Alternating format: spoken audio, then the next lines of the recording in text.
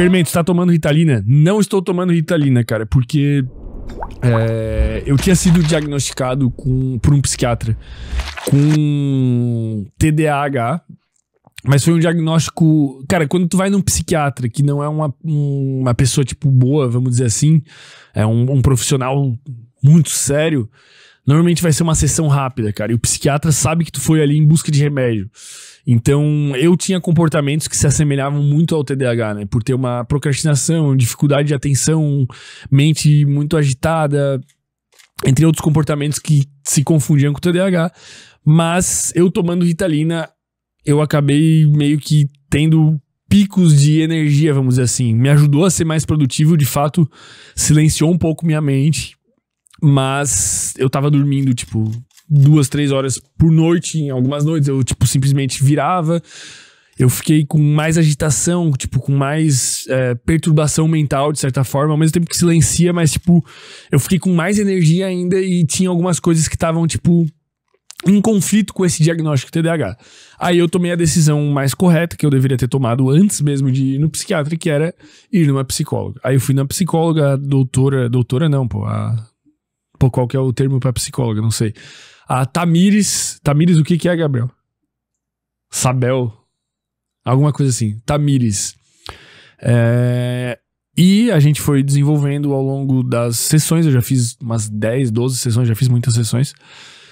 E ela, logo de imediato, quando eu relatei várias coisas para ela e coisas que vocês não têm conhecimento, assim, que, tipo, que acontecem na minha vida é, particular, comportamentos que a gente só consegue ter coragem de abrir com um psicólogo de fato.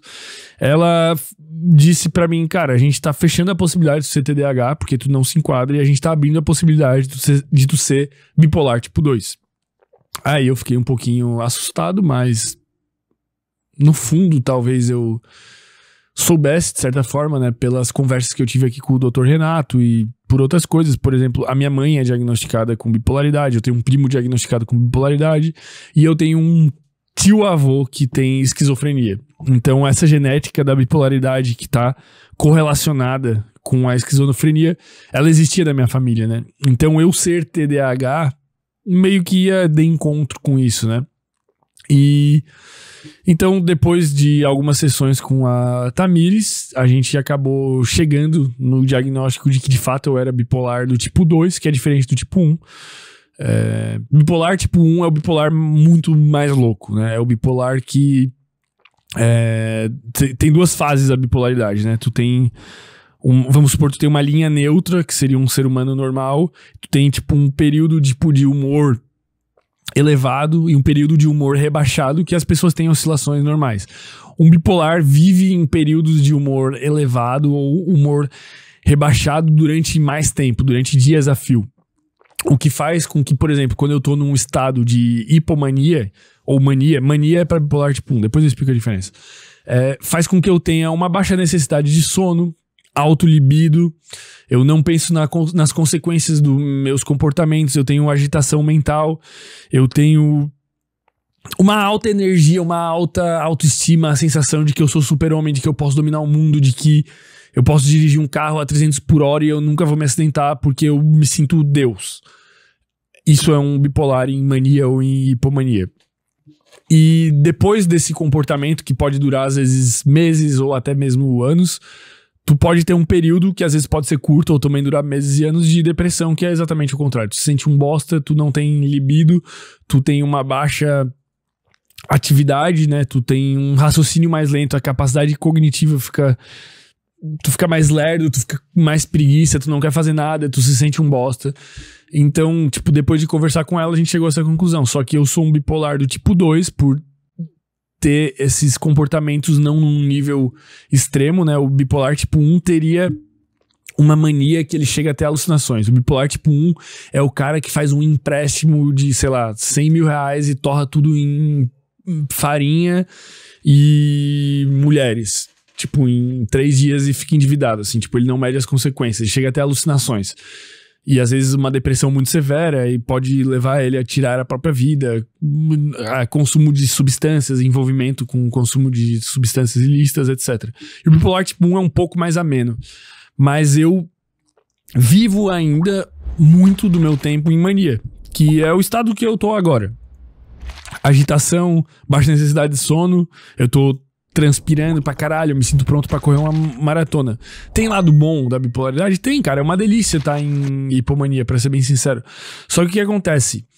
Essa, essa química cerebral elevada que te faz ter esses comportamentos, tipo, eu não. Chega à noite, eu, mesmo fazendo uma higiene do sono, eu tenho que fazer um certo esforço a mais para ir dormir. Tipo, o natural para mim é ficar acordado, velho. Eu consigo ficar, tipo, um dia acordado pro outro de boa. No outro dia eu funciono normal, tá ligado? Óbvio que vou ter prejuízos lá internos, talvez alguma coisa de atenção, tipo, mas eu me sinto bem por essa química cerebral diferente. Só que a longo prazo isso é extremamente tóxico, cara. Eu tô fazendo muito mal pro meu corpo. Tipo, muito mal. Tipo, essa química cerebral elevada, dopamina elevada, muita motivação, muita energia, e daí tu não dorme e tal, eu tô fudendo meu corpo, cara. Apesar de eu conseguir fazer isso, eu tô fudendo. Então, tipo, eu, mais do que ninguém, tenho que tomar cuidado com o meu ciclo circadiano. E esse ano eu me propus a fazer isso e tô conseguindo fazer. A maioria dos dias, assim, eu diria que uns 70% dos dias eu tô indo dormir antes da meia-noite e acordando antes das 9 da manhã ali, né? Dormindo entre 7 a 9 horas. E os dias que eu não consigo é, ir dormir antes da meia-noite, por motivo de, tipo, por exemplo, ter o Segurozélia, que vai até tarde, alguma coisa assim.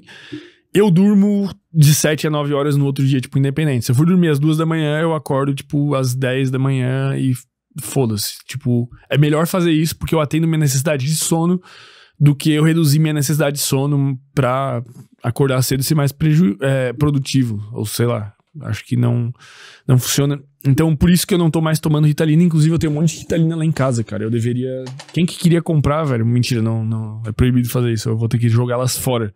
Mas deve ter uns 300 reais lá em casa em. Em, em Ritalina, velho. Então, não estou mais tomando. Mas é. para quem tem TDAH.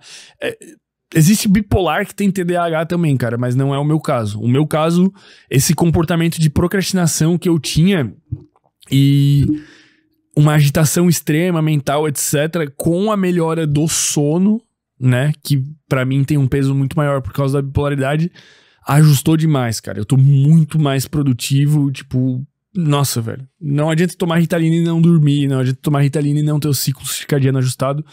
Eu acho que não adianta tu buscar tratamento e tentar tratar nenhuma doença se tu é, dessas psicológicas, se tu não tem um ciclo circadiano ajustado. Na verdade, adianta ir, tipo, porque tu pode ir para justamente conversar com a pessoa e com, com o psicólogo, ou no caso com a psicóloga, que é a minha, e ela vai te ajudar a ajustar, ela vai entender por que você não ajusta. Tipo, ela entrou na minha mente, tipo, por que eu não ajusto?